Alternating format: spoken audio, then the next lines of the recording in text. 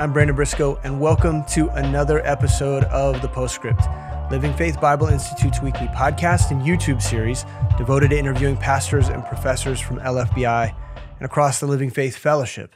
And every time we come together, every Monday, we are having conversations with pastors and professors about topics of interest such as theology and church history and ministry. And all these things are intended to edify you and give you a, a glimpse of some of the things that we're teaching in the Bible Institute uh, to give you an idea of who we are uh, as, a, as a school, uh, what our professors are teaching, and where we stand in terms of the Word of God. Now, one of the really fun things that we've been doing on the show lately is a series of episodes that we're referring to as unknown missionary episodes, where, where we're talking about missionaries uh, that, that very few people have heard of. There's really famous names in the mission world that, that get referenced quite a bit, but then there's also these names that, that don't often get brought up, and they're kind of in the, in the, the archives of, of missions history. And we've decided to go dig out those names and, and to tell those stories. And in order to do that, we've invited Pastor and missionary uh, James Fyffe, uh, former missionary to Southeast Asia, and the missiology professor here at the Bible Institute uh, to talk about this. And this week we're going to be addressing a man named Henry Nott, a British missionary uh, to Tahiti. And, uh, and so we're going to turn to James and say, Welcome, welcome to the show, man. Good morning. It's always good to have you on. Yeah, it's always good to be here. Uh, these, these have been a lot of fun. And Mm-hmm. we get, we're getting a lot of good feedback from people especially missionaries and church planters who are encouraged by these stories. Oh, good. So um, I'm excited about this, and I'm, I'm, looking forward to talking about Henry Nott. Uh, tell us about who he is a little bit, and Mm-hmm. give us an intro about his early life. 1774 Is when he was born. Is when he was born. So yeah, so we're Okay. going back a few hundred years. That's really about the time of the Revolutionary War, to put it in perspective. Yeah. Right, we're becoming a nation. Um, so we don't. I don't know a whole lot about uh, his upbringing. He's in. He's in in, in Britain. Uh, he's in a Christian family. He gets exposed early to the idea of, of foreign missions. He gets exposed early to uh, the Word of God and the gospel. Uh, he gives his life to Christ uh, at a young age. Typically, life started earlier. You know, they, you know, our 14, 15, 16 year old kids are Those are grown men. Trying to figure out how to play video games still. Yeah, here, here, like you're a boy until you're about They can't 25. even get their underwear on fresh every day at 15 now. But yeah, that, I mean, they were, you know, they would start into a trade, into an apprenticeship in their, you know, their mid late teens. So, yeah, um, so life began a little earlier, and so typical of that time. That's that's who he was. He was a bricklayer by trade. Uh, he had an apprenticeship and had gotten into that role, but also he heard um, from William Carey. You know, so very famous missionary. William Carey was casting a vision and and and really challenging all of kind of the church across England. And he actually, William Carey himself, had a vision for Tahiti. He had a prayer and a desire uh, to go to Tahiti. And as we know from history, he didn't. right. He ends up going to India. And but uh, but Henry Nott heard that. And uh, you know something about that resonated with him, and he just latched onto that vision. And so, in terms of you know, kind of before the the missionary days, uh, I don't have a whole lot of the details. Well, we know he became a bricklayer, and we know that he he heard the vision cast by William Carey, Yeah, but he got on a boat.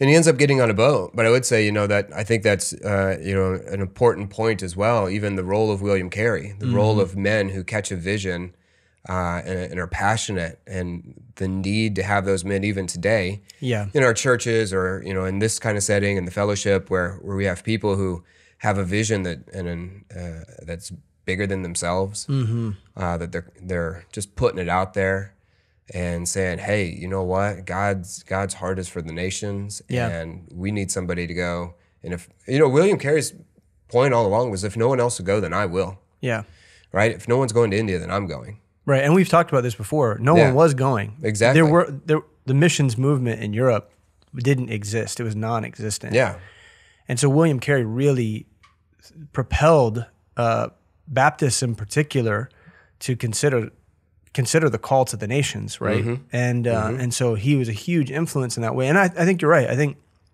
things like mission focus right and these events that we hold where we invite missionaries in to share their heart, to sh- talk about the field, is critical because the God's honest truth is that young people need to hear the call. This is the way it's always gone. Young people need to hear the go- call the same way Henry Nott did. Right.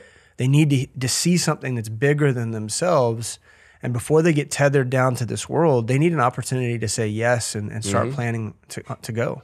Yeah, and and, and combine that with just uh, an understanding of the state of the world, right? If you have you know Doug Pearson showing up and telling you what it's like in Vietnam or in the Philippines or Cambodia or wherever he's at, and you can, that's for a lot of people. That's so far outside of just their understanding and even what they recognize of the world. We can get so focused just right here. So having your eyes open and, and getting a, the ability to see the field, um, the world, and the state of the world, I think it's it's critical. We need guys like Doug to come around and, and tell us what's going on. Right, and we right. need mission focus. We, we need Jeff Bartell to come in here and, and share you know his experiences and, and where he's been. So Yeah, absolutely. so that's exactly who uh, William Carey was and influenced uh, Henry Nott uh, into that. So Henry Nott ends up, yeah, as you said, he gets on a boat. Uh, he's about 22, 23 years old at this time. Yeah, the Duff is the the boat's name is the Duff. Did you did you notice that? Which mm-hmm. is the the famous beer from beer the in The Simpsons. Simpsons. Yeah, That's yeah, all. I can Yeah, think. that's Yeah. that's all I can think of too. I wonder if they knew that. I don't know, They probably not. but he got on the Duff. He got on the Duff. Yeah.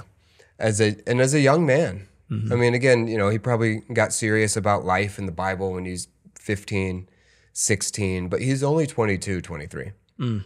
He's going as everything was in that time on a long sea journey that fairly frequently resulted in death. Like not everybody got to their destination. Getting to Tahiti is still a big trip today. Um, but you're talking months Yeah, on a boat. Right. And you spend half a year just trying to get there. Right. So so he gets on the Duff. Uh, he sails to Tahiti in he's with the, 1788. and he's with the team. He was initially, yeah. He had a large team that went with him, so a number of people caught the vision, and um, they take a group uh, of men, some men, mostly single men, some some families, some young married couples, but mm-hmm. they head off to Tahiti, trusting the Lord to go and to plant churches and to evangelize the the heathens of of Tahiti. Right. Yeah, So they get there. What year was it that they landed? 1788. Mm-hmm. Yeah, so about 23 years after his birth, they land in Tahiti and they find a disaster. Yeah. You know, in terms of just like the uh, the spiritual state, the state of Tahiti at that time was uh, as as wicked as you can imagine. Yeah. Explain that. Explain the culture. The culture. What did they see visually? What were the people like, just visually? How were they living? But then also explain to us the the religion and how the religion had Mm-hmm. impacted the culture. Yeah. So you know, if, and when we think about Tahiti today, we think about you know beautiful beaches, Yeah. the jungle that's mountainous as well. It's a great tropical destination. All of that was still a reality, of course, back at that time. So Mm-hmm. Right. landing there visually, looking at the landscape and looking at the place, it's a it's a place that anybody would want to be. Like Right. It's it's paradise. Um, but the the visual of of the people and the way that they lived was a stark contrast to what they saw um, in nature. You know, and, and naturally so, um, even in a fallen world, when you when you compare God's creation oftentimes to the heart of men, you know, you'll see Oh, yeah. just this great depravity Yeah. you can see the beauty and the vastness of, of a creative God. And then you see men that, and women that uh, at the time were almost continually consumed in war, tribal wars. So f- there were a lot of tribes that um, were, were always at, at each other um, that were, you know, what we would think of as native peoples. So uh, not dressed or scantily dressed Yeah. uh, or dressed like warriors. Yeah, the way indigenous tribal people would typically dress. Exactly. The stereotype's kind of true. Yeah. Yeah. So if you're coming from posh Britain, Mm-hmm. I'm assuming it was posh then too. Sure, Britain's always been posh. So Henry probably had his His knickers, scarf and knickers and one of those Newsies hats. yeah, and all of that. Yeah. And showed up and finds these people, you know, running around at war with each other, really killing each other all Mm, the time. mm-hmm. Um, but they had a king, King. I don't know Pom- how, how we Pomar? want to decide to say this. Pomer? Pomer. We're gonna go with Pomer. Okay, Pomer King. Pomer. All right. King Pomer, actually, you know, from from a kingdom standpoint, had accomplished a lot in terms of uniting the tribes and cutting down on some of the the intertribal warfare that was happening. He Mm-hmm. had created a, a more uh, vast kingdom under a single ruler. So actually, some of that tribal warfare was coming to an end, or, or at least diminishing. Right. It was still in the hearts of the people, Yeah. and some of the other practices that we'll talk about here uh, were absolutely in the heart of the people. But so the team lands. Um, they they they meet the king. There's actually another white person on the island. Yeah, this was weird when I read about this. Uh, there's two. There's two guys, right? Mm-hmm. Peter and Andrew, which I thought was kind of interesting. Like apostles. Apostles are there. Yeah, but these guys like accidentally landed there Mm-hmm. and then just stayed and just became a part of the society. Right. Yeah. So you know, in the in the islands down there, Tahiti was dark, and Tahiti was uh, was is a wild, wild kind of frontier. But close by, there were other islands that were more civilized and and were trade trade routes. You know, they, they had ports of trade. Right. So a lot of times the boats would come into that part of the of the world. Uh, these two guys, yeah, apparently either Shipwrecked. shipwrecked or went AWOL and just deserted to Tahiti. They land there. They've been there long enough that they've kind of settled in. They've and learned the language. They've learned the language. So they become an interpreter. They're a resource to Nott and his team Of sorts. when they get there a little bit. Yeah. Yeah. So yeah, in terms of being a translator, they were, but they were hostile to the gospel themselves. These two guys, and Peter in particular was was the frequent translator. Um, it said that he was frequently drunk uh, or under the control of some other kind of substance. So he would he would get up to translate for Henry, and of course Henry has no idea what he's saying, but his spirit, you know, is telling him this guy's not translating the message that I'm delivering, and you know he was contentious to, towards Henry Nott. And yet, still, you know, it's this interesting dynamic that he hated the gospel himself. He was contentious towards Henry Nott, yet willing to communicate for him. Mm-hmm. So the Lord still used this rebellious drunk Right. at some level Right. to get his gospel out. Mm-hmm. Pretty pretty interesting situation. But they I think it, it felt more pressing for Nott at this point to learn the language, which he did fairly quickly. I mean, he worked really hard at, at Mm-hmm. learning it.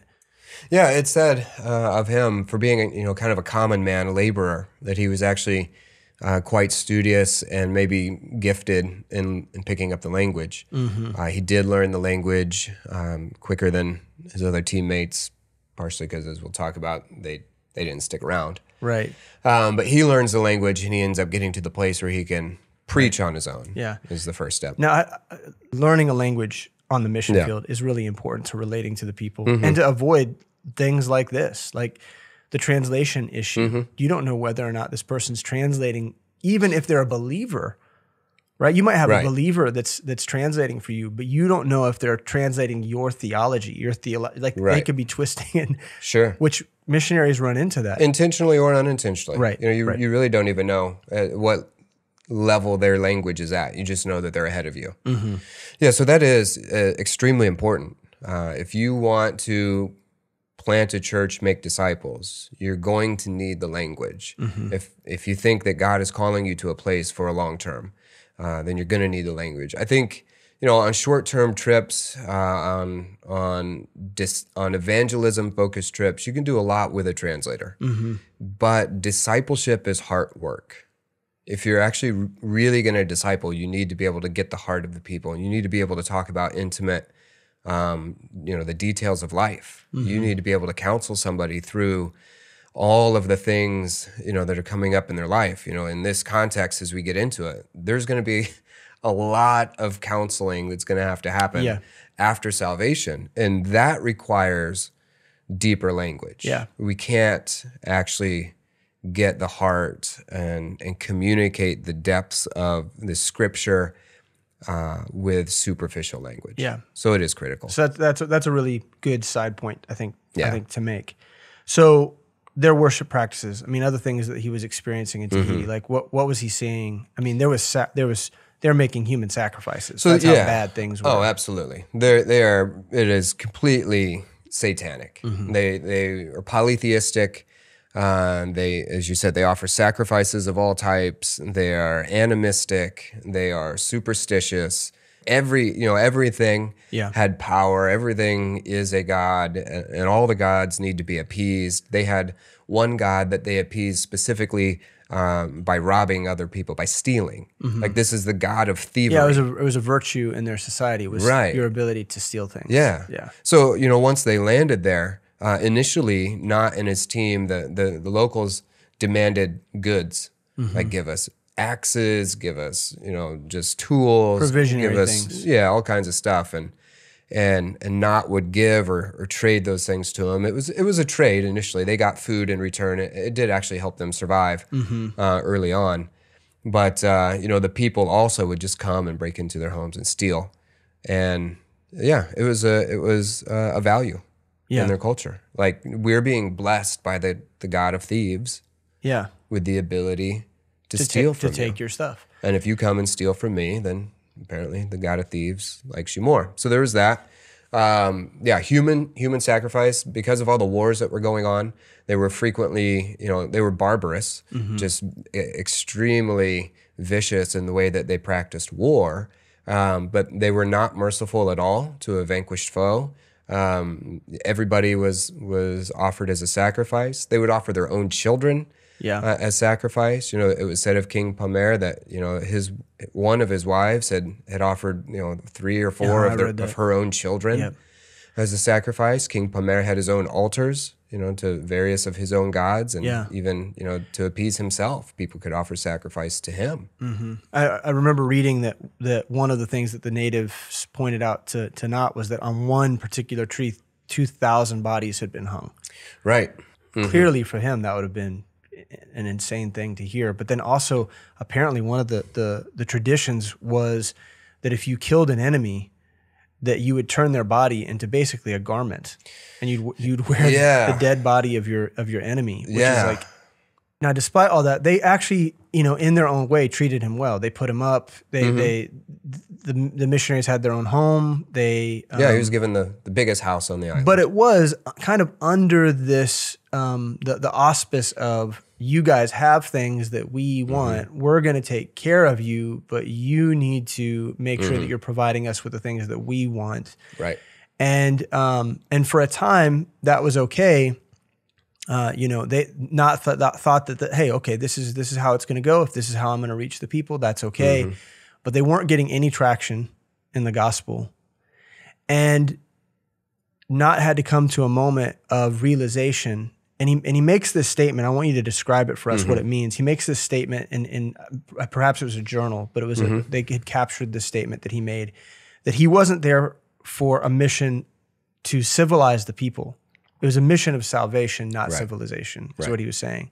Explain to us what that means and why is that important in terms of our perspective on on missions? Mm-hmm. Because not every missionary has gone with this concept in mind. Right? The Catholics and and a lot of the Protestants sent missionaries into the west of the Americas uh, to really with the intention of bringing a a religious culture and to civilize the people, Right. which was was the wrong perspective, and it didn't work. Right. It didn't work. So explain to us why this discovery on Nott's part is so important, and why it's still even important today in, in the way that we handle missions. there is a you know a, a biblical civilizing or civilization that'll take place. Mm-hmm. Of course, there's there's a transition, a, a change of the heart. Right. As as you become a new creature, you are going to change the way you live, and that is the right focus. Mm-hmm. And that is that's what Nott was alluding to when he says it's a message of salvation. It's that, that first and foremost, man has to be changed from the inside. It has to be uh, a, a, a focus on the soul, right, and the preaching of the gospel. Uh, Nott was a, a, a simple man, but believed in the power of Scripture. You know, the very first thing he ended up translating was John three sixteen, and the first message he preached was John three sixteen, and it was actually, you know, John three sixteen that that broke the heart of the king Yeah. in the long run, right? And so he focuses there. The other side of civilization are the the cultural uh, civilizations that we build, and a lot of missionaries will go and take all of these cultural norms and try to first impose them on people, right? So you know, we, we want to get shoes on their feet, and we want to we want to cover up uh, Any exposed body parts. the- yeah, yeah. Put a shirt and tie on them. You know, if you're a Mormon, you make sure they get a white shirt and a tie and a name name badge. Yeah, right. You know, or, or, you know, and so we and we need to build different houses because these huts don't work, and you know, so we we try to change all of the wrong parts of culture, and, and in hopes that, well, as they become better, you know, then they'll see. Yeah, it's like they want to they want them to be Christianized in in quotes, right? Whatever Mm-hmm. that means, right? But they don't necessarily they're not working to make them Christians first, Right. right? They're Mm-hmm. not they're not there's no spirit living in them. There's no reason ultimately to change the flesh. Mm-hmm. Uh, because there's nothing driving them from the inside to become Right. Mm-hmm. the character of Christ. It's backwards. It's absolutely backwards. Yeah. So it yeah, it's it's pharisaical. It's let's whitewash the outside, and on the inside, they're full of dead men's bones. There's a danger of that even in our culture today, right? In, in our in our churches, in good churches, we'll, mm-hmm. we'll expect people to come in and we'll expect a certain level of of of I don't know sanctification out of out of the lost. Right. Like sometimes we're we're shocked that lost people act like lost people. Or dress the way the world does, or like- Right. and that bothers us. So we're more concerned about how they Yeah. come in and how and their appearance. Right. So we'll set up church culture and then we'll try to demand it of the lost before God has ever had a chance to get a hold of their heart. Right. Uh, we want to, you know, to change them, to make sure they worship like us, make sure they dress like us, make sure they sit in the pews like us and take notes like us, or what, you know, whatever it is. And the whole time we're forgetting the fact that that lost people are going to act lost. Yeah. Like it has to be a heart work. So even today, we try to civilize before uh, salvation instead of putting salvation 1st So that was uh, either something that that Nott just went with or quickly made the shift to Right. realizing giving these people tools and and you know better resources is not going to do anything to help their salvation. Right. In fact, they're just taking advantage of me. Yeah. They just show up and say, "I need 22 hatchets." Right. What does one person need 22 hatchets for? Right. Uh, you know, and so that played out, I think, through uh, Christianity. We've seen in other parts of, of the world what are known as rice Christians. Uh, so, so where, you know, Christians go and give. Here's rice, here's, here's food, here, and, and then people will respond because they get something from the Christian, right? So they, they call themselves a Christian, they'll attend the services in order to get fed but there's actually no change of heart. So in the same way, uh, you know, in that case, yeah, I think we're we're trying to to bribe or, or or to buy some converts, and we probably don't do it intentionally. You know, that's not the heart. The heart is probably to to meet physical and spiritual needs. Right. But when that the wrong foot gets put forward and becomes the priority, then the spiritual takes a back seat, and, and it impacts obviously the the growth of, Yeah. of a church of a true disciple. Yeah, that's good. Good good thing to know and understand. Um, so Nott and his team faced a lot of, of uh, other hurdles besides Mm-hmm. this.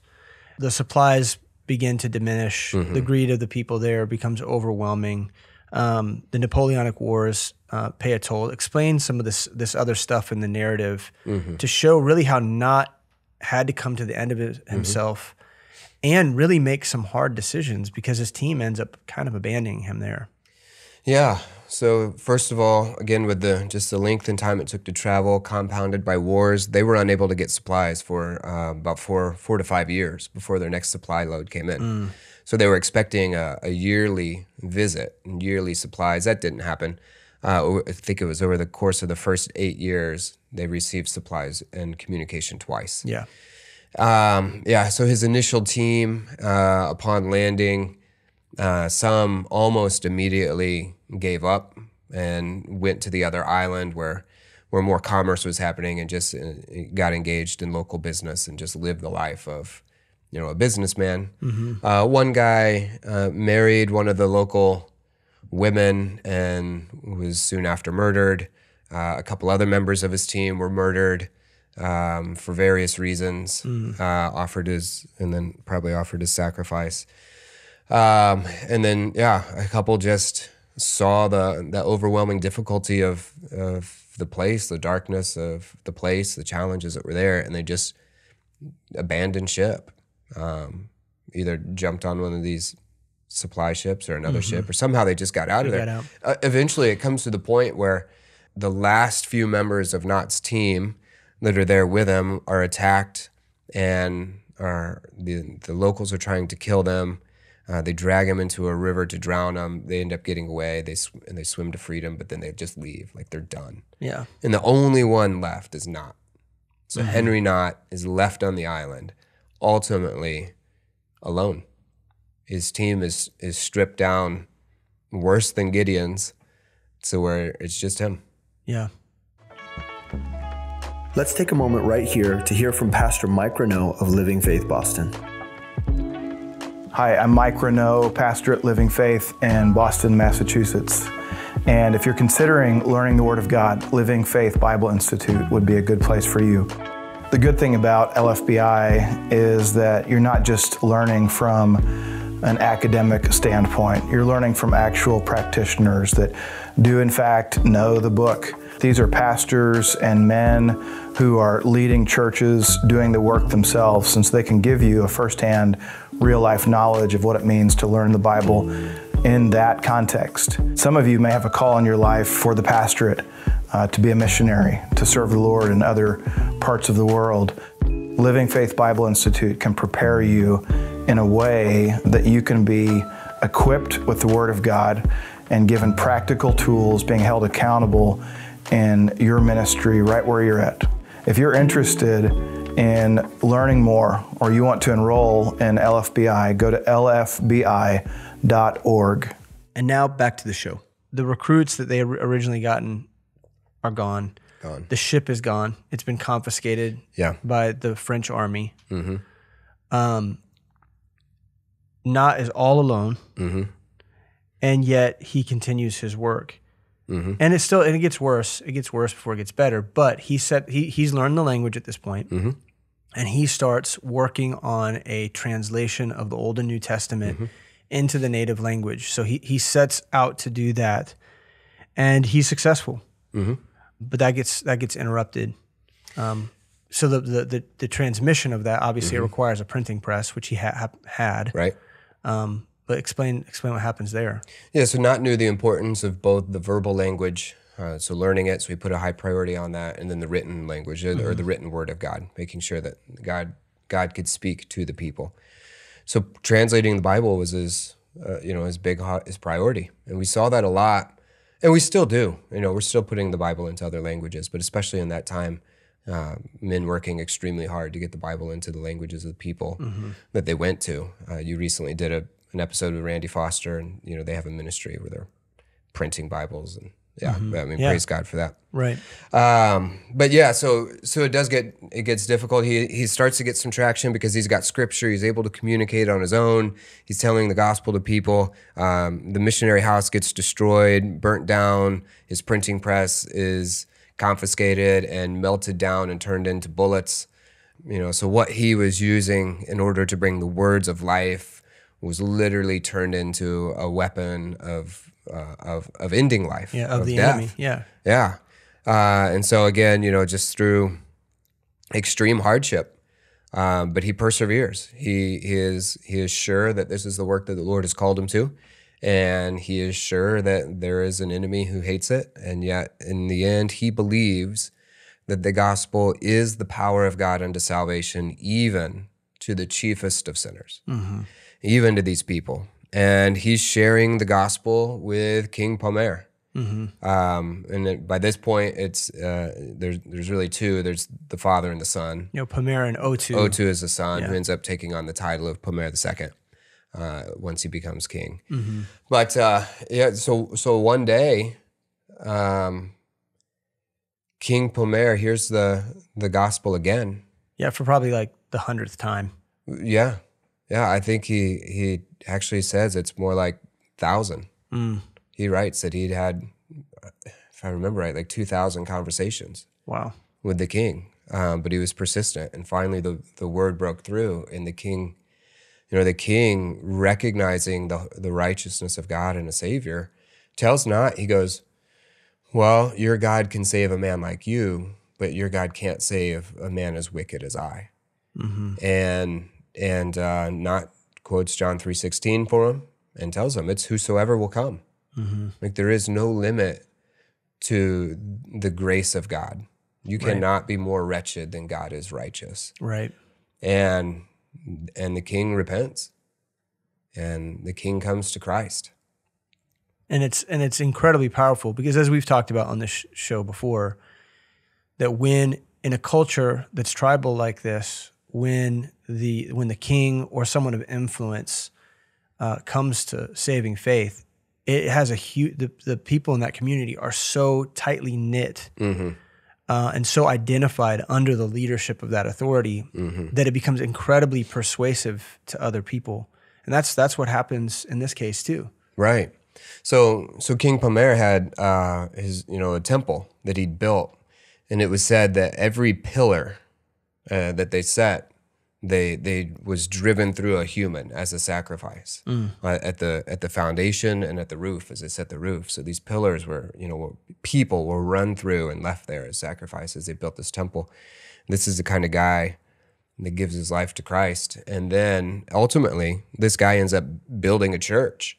You know, King Pomare helps to build the first church Yeah. on the island. And yes, as you were saying, you know, that example. So his example of building his temple did help to lead that entire island into darkness. But then his transformation and his example of, of building a church and surrendering himself, he gets baptized. yeah 5,000 people are present at his, at his baptism, right? And they are um, submitted to their king, you know, and they are tribal in a way that, that we are not. You know, modern day Western world, uh, we are very individualistic. Yeah, We're, yeah. You know, we're, you know. So yeah, so it does. It begins to to have a great impact on the entire uh, nation, uh, on, on the entire people group there. and they start basically taking all of the idols in their homes and these structures, these edifices that have been raised up uh, in order to honor these false gods, the the altars of sacrifice, all these things like Old Testament style, they start getting torn down. Yeah, Um, the high places start coming down. Yeah, they're burning them. They're destroying them. Yeah, they're they're getting rid of all of their idols. Absolutely. Yeah, and so people are coming to Christ and they're committing their lives uh, to following Christ, and and it really is the transformation that up to this point. I mean, I, I, he, at this point, how long has he been there? Twenty years? Is that correct? How long has he been there at the point that there- there's a, Before he sees, yeah, it serious was, It was like 22, 23 years. It Yeah. was, yeah. Before- it's a long time before you see a convert. right? So Before tons of pain. any glimpse of hope. yeah, there was no one coming to Christ. Mm-hmm. And all of the pain and all that suffering that he endured, mm-hmm. the persistence involved ultimately was worth it. It was refining for mm-hmm. sure for his own life, but but more than that, um, it benefited the kingdom of God. He, you know, Christ was waiting for a servant that that was prepared and ready to to truly be used. And then there was a harvest. Yeah, yeah, absolutely. Uh, and it speaks to, I don't know if it's fair to say, like they were just men were built like different Yeah. back then. Like the fortitude that they had, the willingness to stick it out, even if it wasn't in you know a spiritual setting. Like men just were men. yeah, there was there was a, a really a great resolve in, in that in that time period. I you know I I've, I've never mentioned this on the show. One of my favorite books is called The Coddling of the American Mind, uh, and it's written by a couple of lost guys, sociologists, psychologists, who write about basically the, the softening of our culture, right? Um, the fear, the anxiety, um, the shame, the victimhood, basically Yeah. that young people, you know, it- the book was was written on the cusp of Gen Z uh, that we face as a nation, and and it, that has permeated the church. I mean, there is there is a greater fear, particularly in men. Um, there's a greater comfort that we refer to as Laodicea, but but so many people are concerned about the way that they feel and about their creature comforts that it makes it really impossible uh, to unless the, the spirit of God moves on a person's life to raise up young men that are willing to answer the call just just the way that Nott did. Where you know where are these these men? Right. um They're few and far between. Yeah, you know, and even if I look in, into my own life, you know, when we were taken out of the mission field that we were on, there was there was a certain level level of mourning and difficulty that came with it, and I think that's you know absolutely natural. And Mm-hmm. we've seen a lot of people that have come off the mission field, maybe because they're getting older into the career or for whatever God shifts them. But a lot of times that becomes um, a defining moment in a bad way, to where these people come off the mission field and all of a sudden they they lose their like the sense of God still has purpose for me, and they give up. They don't plug into ministry, and they don't, you know. And and, and I worked through, um, you know, the again kind of the the mourning the loss of these people and this mission, and trying to f- again figure out, you know, where do I fit and what's my role. But then I look at, you read Acts, and you see Paul getting you know tossed out of city after city, having to leave places by night, being let down uh, in secret, you know, and you never really see him shedding a tear over it and and and spending a bunch of time. Well, what if or what next? It's like shake off. He shakes off the dust and he starts preaching the gospel in the next place he comes Yeah. to Yeah. you know, and I, as I was just working through it myself, I was looking at that and I'm like, okay, like just just do some of that. Yeah. Like as long as you know, to to some of our own friends and who- who've been in the ministry and are, and and are struggling, like as long as you're still alive, like be like Paul, like shake mm-hmm. off some dust and just be like, someone else needs to hear the gospel. Let's start preaching. Yeah. Well, all have forsaken me. Well, all forsook Christ. Yeah. Well, I, I don't know what to do. Well, preach the gospel. You're commanded to do that. Just start with that. Mm-hmm. You know. So Yeah. that's to me, as much as I just said that was to to others. Like I, I worked through that too. Yeah. And here's a guy who who doesn't seem to. Maybe we just didn't read enough of his journals. I'm sure he worked through it. Yeah. But it seems like he's just like, And it's not like it's clear from Paul's letters that Paul's feelings got hurt. Mm-hmm. Okay, it's no one saying that that you shouldn't be hurt, right. right? You People just have to hurt- keep going. But it it who are you doing this for? Mm-hmm. Right? And I think that's the like we can't be coddled in that. If we're doing this for man, man's Mm-hmm. going to let us down. If we're doing this to be a respecter of persons or to be affirmed or to be seen or to be noted, if there's any Mm-hmm. other mingled motives, we will a see a diminished return Mm-hmm. on our investments, spiritually speaking, but we will also be let down and we will we will hit the ground hard. Mm-hmm. But if we're doing it for Christ, and we expect that along the way we're going to be hurt and things aren't going to go the way that we imagine, Mm-hmm. but if we're doing it for Him, and if souls to us are as precious as they are to Him, Right. Uh, well, then I think that you can have the the kind of longevity that a man like Nott had. So mm-hmm. maybe let, let's let's end by discussing his legacy. Yeah. So, I mean, ultimately, when we be- look back on Nott's life, what did he achieve, and what we should we see and, and honor and consider? Man, um, that's that's the kind of legacy that I hope mm-hmm. to leave behind. Yeah. So in terms of persistence, he in 50 years of ministry there returned to England only twice. Um, was largely wholly given to what God had called him to. Uh, gives his life completely to that. That's something that we need more of. We need men who will finish the course. I mean, men and women. We, you know, we unfortunately we see too many that get into the later ages and coast, or turn it off. Uh, he opened the door to to kind of that whole eh, sector of the ocean, the Polynesian islands, that that area. So once the gospel came to Tahiti, it could spread from there to some of the greater ports and trade areas, and, and that allowed uh, the gospel to get around uh, in in that island area. And I think uh, you know, in terms of of looking at our own lives, this guy was a bricklayer. Like he was just simple, like a lot of the other people. Like William Carey was a cobbler. You know, mm-hmm. God takes simple people and then equips them. So we can take anybody, no matter what your profession is or or your role in society, if you're willing to submit to the Lord and to seek Him first and His kingdom 1st mm-hmm. you you do need some equipping. You should be in LFBI. You should be studying the Bible. You should be digging.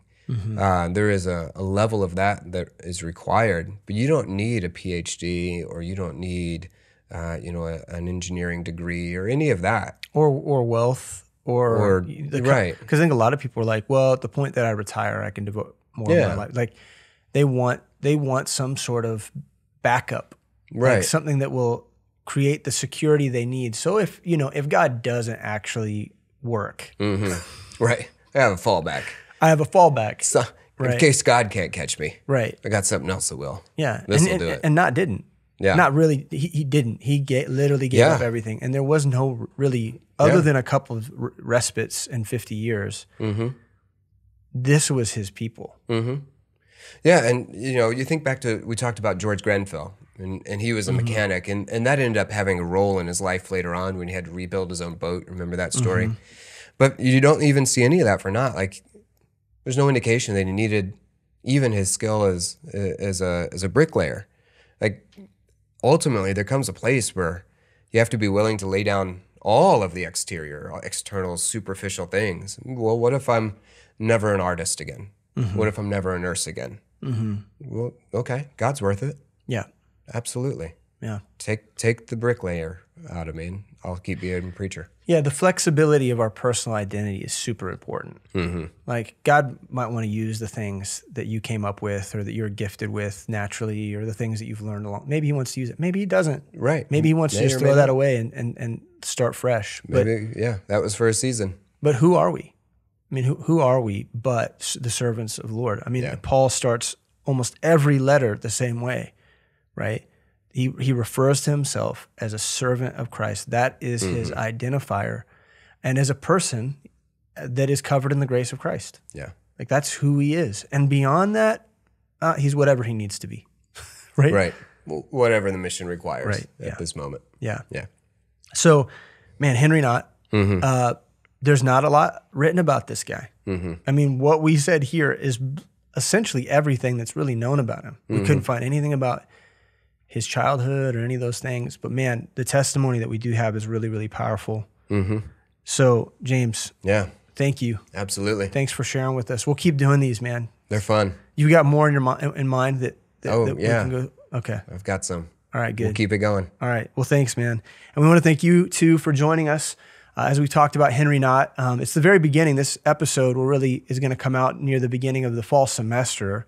We'll be just you know a handful of weeks into the fall semester, but be thinking about future classes.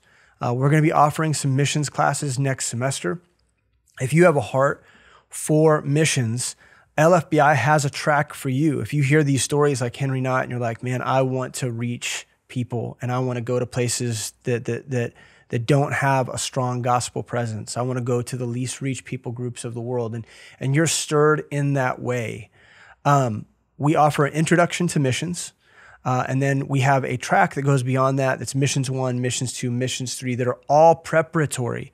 They're all intended to prepare you for the work of the mission field. And then obviously, uh, if you have a heart for the mission, uh, we believe in the local church and we believe that God has given you a structure. And you need to go to your pastor and say, hey, I'm ready to be equipped uh, for the work of missions. Make that known. Don't be afraid to speak up.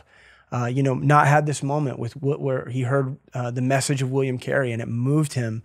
I like to believe that the next step for him was to go to his pastor and say, "Hey, this is the call on my life," and that's really what you need to do too. So don't be afraid to do that, even if you feel like you're not mature enough to go right away. Uh, man, to make sure the path before you is, is sure, to trust the Lord for the future work in your life and to have a vision for what God's doing in you, it's good to make those things plain and known to your leadership. But we want to invite you into LFBI. Uh, if you've got questions about our classes, about our program of study, visit lfbi.org. And, and as usual, if, if this show or any of our shows are edifying to you, please share them with your friends. Uh, like uh, this on your, on your, your platform of, of choice. Uh, subscribe and stay in touch with us as we continue to re- release these episodes from week to week. But with all of that said, we love you. God bless you. We'll see you again next week for another episode of The Postscript.